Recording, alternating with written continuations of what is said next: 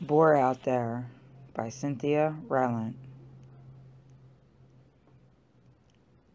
Everyone in Glenmorgan knew there was a wild boar in the woods over by the Miller farm.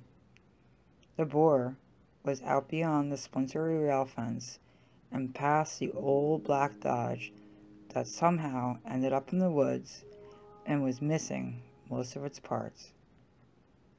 Jenny would hook her chin over the top rail of the fence, twirl a long green blade of grass in her teeth, and whisper, Boar out there. And there were times she was sure she heard him. She imagined him running heavily through the trees, ignoring the sharp thorns and briars that raked his back and sprang away trembling. She thought he might have a golden horn on his terrible head. The boar would have run deep into the woods, then rise up on his rear hooves, throw his head towards the stars, and cry a long, clear, short note into the air. The note would glide through the night and spear the heart of the moon. The boar had no fear of the moon, Jenny knew, as she lay in her bed, listening. One hot summer day, she went to find the boar. No one in Glenmorgan had ever gone past the old black Dodge and beyond, as far as she knew. But the boar was there, somewhere, between those awful trees, and his dark green eyes waited for someone. Jenny felt it was she. Moving slowly over damp brown leaves, Jenny could sense her ears tingle and fan out as she listened for thick breathing from the trees. She stopped to pick a tea berry leaf to chew, stood a moment, then went on. Deep in the woods, she kept her eyes to the sky.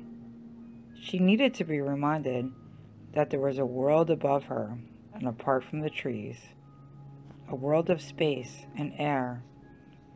Air that didn't linger all about her, didn't press deep into her skin as the forest did.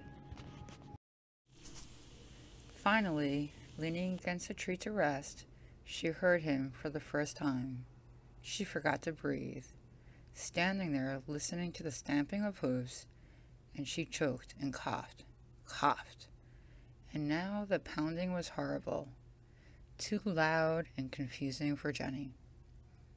Horrible. She stood stiff with wet eyes and knew she could always pray, but for some reason she didn't. He came through the trees so fast that she had no time to scream or run, and he was there before her. His large gray black body shivered as she waited just beyond the shadow of the tree she held for support. His nostril glistened, and his eyes, but astonishingly, he was silent. He shivered and glistened and was absolutely silent. Jenny matched his silence, and her body was rigid, but not her eyes. They traveled along his scarred, bristling back to his thick hind legs, tears spilling and flooding her face. Jenny stared at the boar's ragged ears, caked with blood, her tears dripping to the leaves, and the only sound between them was his slow breathing. Then the boar snorted and jerked. But Jenny didn't move. High in a tree, a bluebird yelled, and suddenly it was over.